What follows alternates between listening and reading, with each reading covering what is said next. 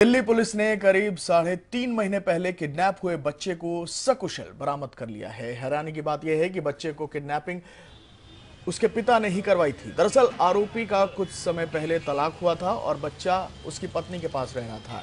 शुरू में तो बच्चे से मिलने में कोई दिक्कत नहीं हुई, लेकिन कुछ दिन बाद बच्चे की माँ ने उसके बच्चे से मिलने पर रोक लगा दी।